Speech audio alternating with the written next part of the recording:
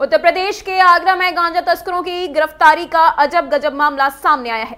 अजब गजब इसलिए कहा जा रहा है कि गांजा तस्कर अपने आप पुलिस के हत्ते चढ़ गए। दरअसल पूरा मामला फतेहाबाद थाना क्षेत्र के आगरा लखनऊ एक्सप्रेसवे का है। 18 जनवरी को पुलिस को आगरा लखनऊ एक्सप्रेसवे पर कार का एक्सीडेंट होने की सूचना मिली। जानकारी मिली कि कार सवार तीन लोग कार के अंदर लॉक हो गए हैं। सूचना मिलते ही घायलों की मदद करने के इरादे से पुलिस टीम मौके पर पहुँच गई।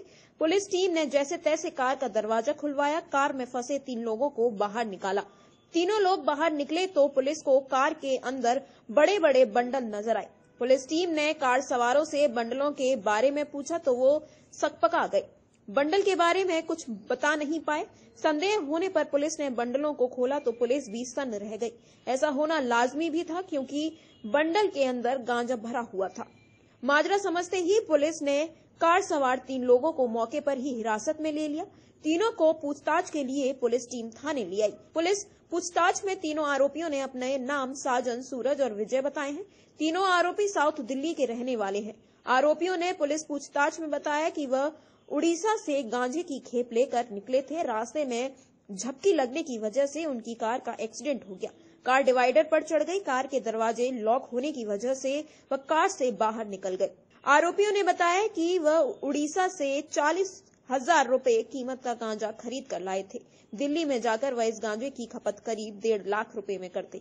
आरोपियों ने बताया कि एक खेप की तस्करी करने पर उन्हें करीब एक लाख रुपए की बचत हो जाती है। एसीबी फतेहाबाद ने बताया कि आरोपियों के खिलाफ मुकदमा दर्ज कर लिया गया है। आरोपियों के दो साथी फरार हैं। उनकी गिरफ्तारी के प्रयास किए जा रहे हैं।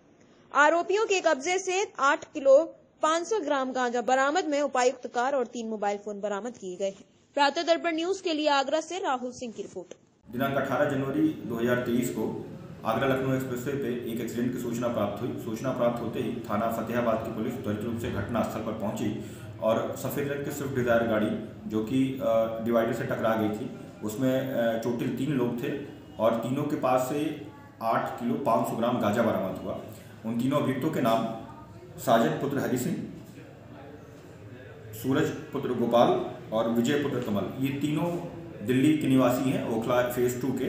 और इसमें से साजन के ऊपर दिल्ली के थानों में कुल दो मुकदमे गंभीर धाराओं में संस्थित हैं।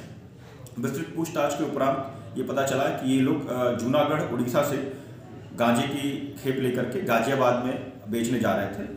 त्वरित रूप से समुचित धाराओं में एफआईआर पंजीकृत कर, करते हुए इनके साथ ही जो उड़ीसा और गाजियाबाद में हैं, उनको पकड़ने के लिए टीमें रवाना कर दी गई हैं।